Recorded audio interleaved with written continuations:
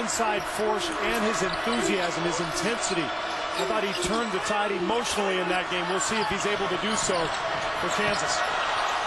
Withey trying to defend, and Davis is shot.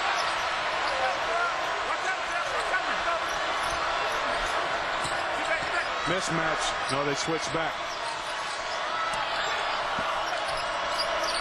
Seems like they're trying to get Anthony Davis off here to start this second half. Too, and then had a huge second half against LSU. No, but he doesn't panic, and that's awfully rare for a kid his age.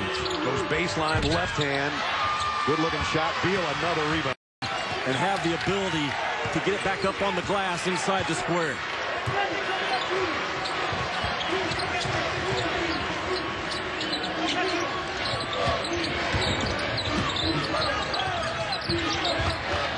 Davis asked for it down low. The hook is a little bit short. Gang played and putting Four of 24 for Maris this half.